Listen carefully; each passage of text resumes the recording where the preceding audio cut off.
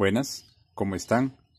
Este es otro capítulo más de días con navajas y cuchillos. El día 76. En esta ocasión, una navaja, una multiherramienta.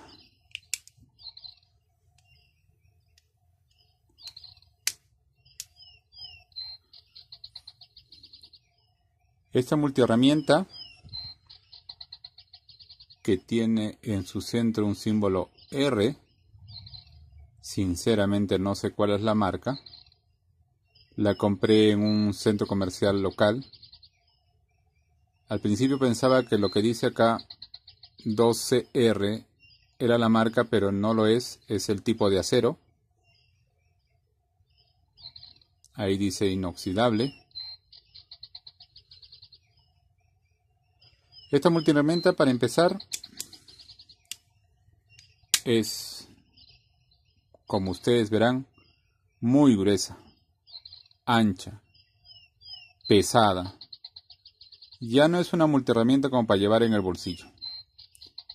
Mm, posiblemente en un estuche tampoco porque es sumamente pesada.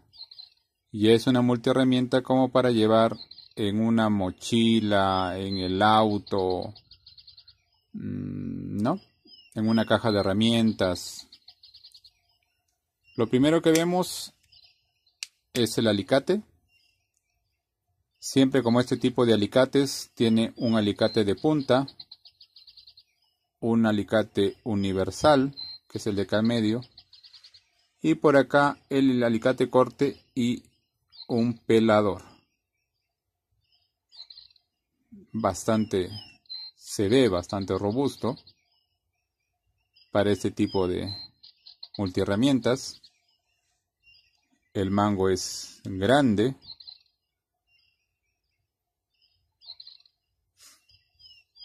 Bueno, sigamos viendo qué trae esta multiherramienta. Como verán, trae varias hojas por acá y varias hojas por este lado.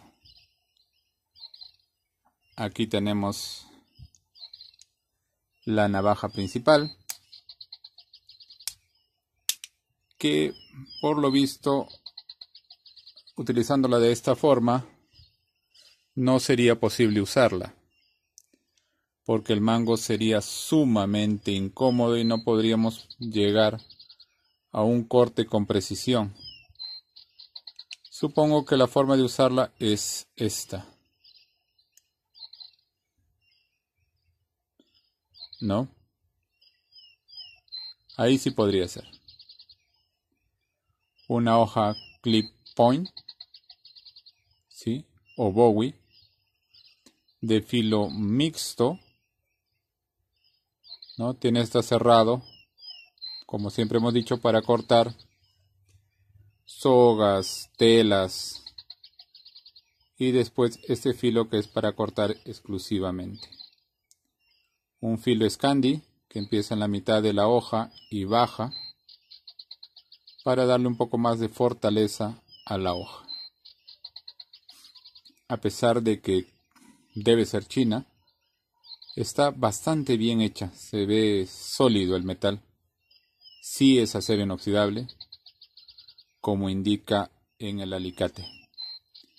A ver, aparte de la de la hoja, ¿Qué más tenemos?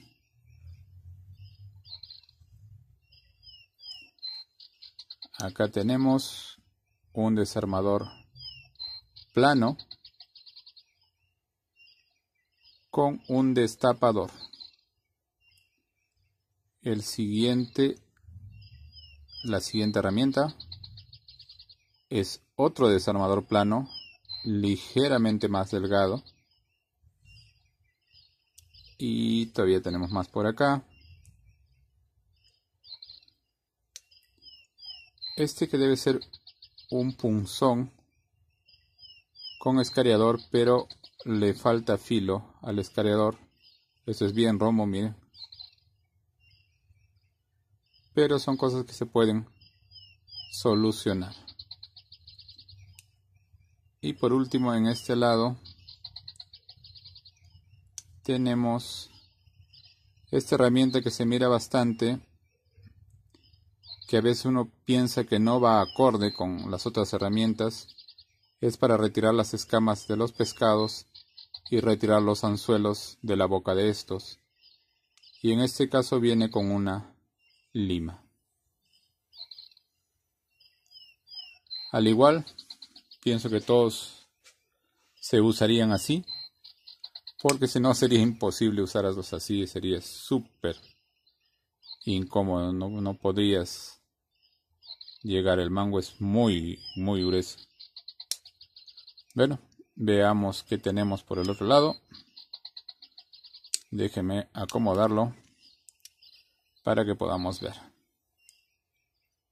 Aquí tenemos un serrucho para madera.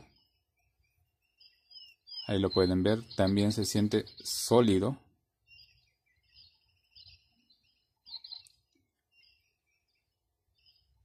Se nota que puede dar un buen trabajo. Por acá también tenemos un abrelatas, más o menos el modelo Victorinox, que también le falta filo. Ahí es muy romo, que eso también se puede solucionar. A ver qué más tenemos. Acá tenemos un pequeño desarmador Phillips o estrella.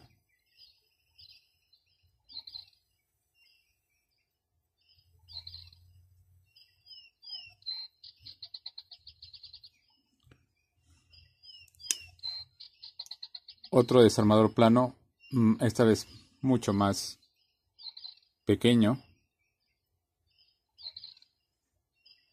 Y por último una lima, aparentemente para madera y para metal. ¿Se siente bien? Como les digo, se siente grueso. Como les explicaba antes,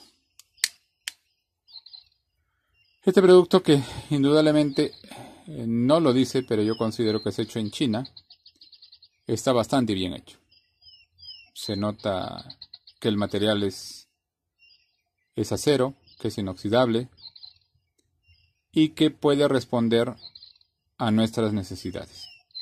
Como les digo, si por ejemplo desearían llevarlo en el coche, sería bueno probarlo, ¿no? Ajustar algunos tornillos, probar el desarmador, para que cuando realmente lo necesitemos usar no vaya a decepcionarnos. Cosa que si lo probamos y vemos que realmente su performance es bueno, como lo parece, no tengamos problemas en el futuro. Lo que siempre les he dicho, me gustan mucho sus cachas porque tienen pernos. Están empernadas, no están remachadas. Esto nos permite hacer reparaciones, nos permite hacer ajustes. Con el uso se suelta, lo podemos ajustar se rompen a las hojas, las podemos retirar o cambiar. Tiene este pequeño grip y son de aluminio, pero un aluminio bastante grueso. Fíjense, bastante grueso, lo que le da también un peso, como les decía, considerable. Difícil de llevar en un pantalón o, o algo similar. Muy bien, espero que les haya gustado el video de hoy no se olviden suscribirse, comentar, compartir y darle la campanita. Hasta luego.